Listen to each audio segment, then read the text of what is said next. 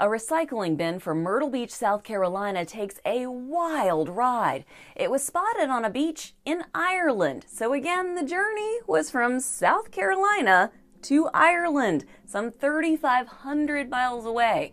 The people who found it emailed Myrtle Beach officials who say that they have no idea when it might have set sail.